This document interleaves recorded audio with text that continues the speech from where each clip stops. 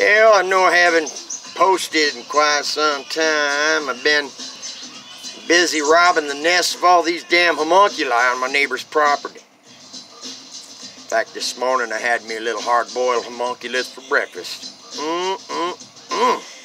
It's tasty. Wearing this fancy hat.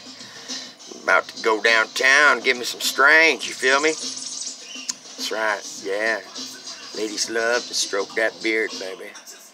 Like to tickle it. Tickle it if you feel me. So, gonna be spending the next couple days going over there and cleaning out them homunculi nests. We can't be having too many of them hatch, you know what I'm saying? It's starting to take over the rest of the neighborhood and we can't have that.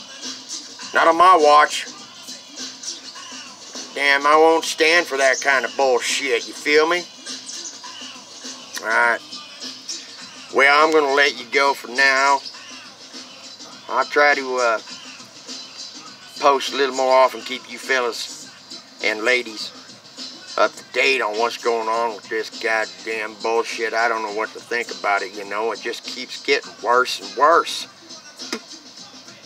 Been missing Cornelius quite a bit a lot lately. I seem to have to listen to Blue Eyes Crying in the Rain at least once every day, sometimes up to nine times a day I listen to that damn song. It is a good song, but every time Willie starts to sing that chorus, boys, I just can't hold back the tears, you know.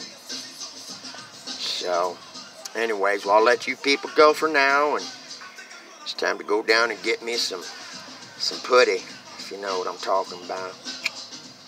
All right, now, God bless.